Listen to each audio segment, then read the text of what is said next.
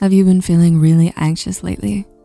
According to a March 2022 survey by the American Psychological Association, 87% agreed that there has been a constant stream of crisis over the last two years.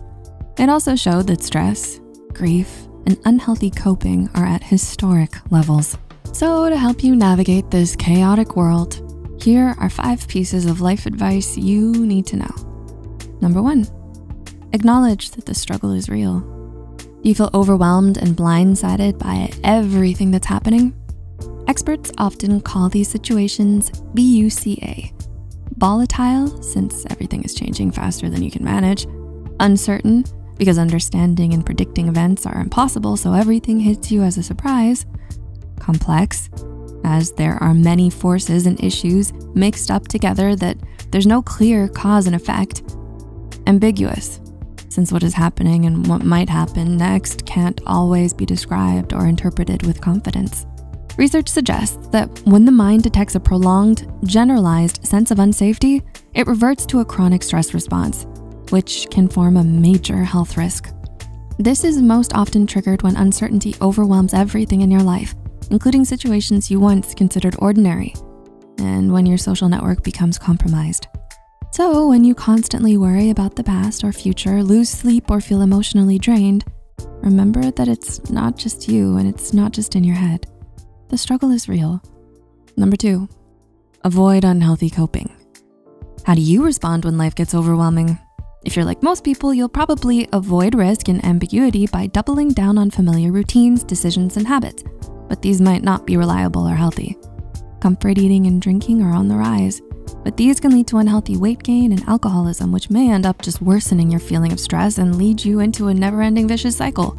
According to a review of mental health over the past few years published in American Psychologist, even subtle coping behaviors like denial, blame, venting, and self-distraction are unhealthy and have been linked to higher levels of general anxiety and depression.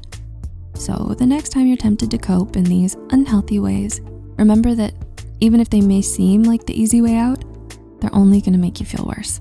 Number three, embrace uncertainty. Paradoxically, the best way to respond to VUCA is to embrace uncertainty. In psychology, we use a tool called the Johari window to clarify our knowledge.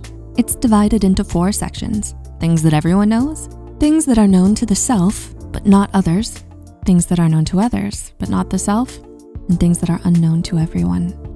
Usually, these quadrants are equally sized, but psychologist Susanna Wu-Pong Calvert has a radical suggestion.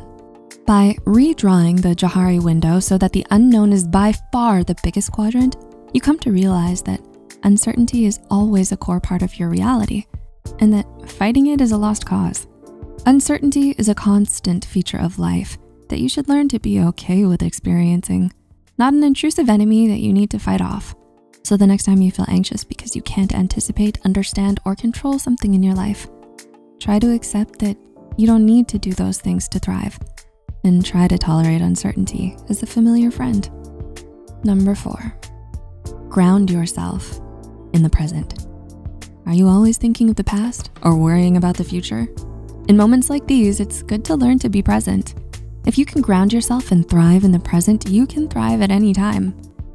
As life is just a series of present moments. You could go for a walk and count your steps, take deep breaths and count them, eat something slowly and savor the flavor, or listen to everything around you and focus on all the sounds.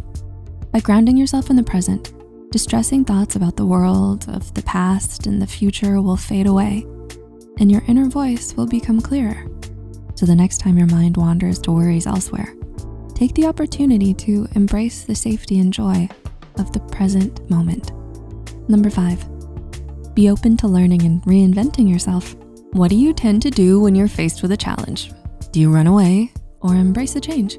According to organizational psychologist Michael Woodward, Individuals who thrive best in VUCA are the ones who treat new experiences as opportunities, are open to change, and are completely flexible.